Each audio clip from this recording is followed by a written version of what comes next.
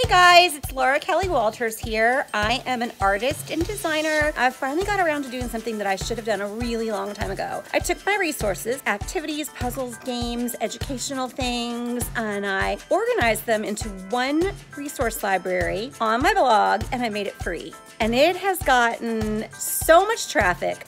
So many people are downloading the activities. It's been phenomenal. I wish I had done it a long time ago and it's just a great reminder that when we know something's important and we need to do it, we need to make time to do it. So I am very grateful to all of the people who have gone to my blog and used the resources, and I'm open to suggestions and ideas for new ones. I'm really excited to have grown in this way during this crazy time. My blog is meandmyinklings.com, and I hope you'll check it out and use the free resources.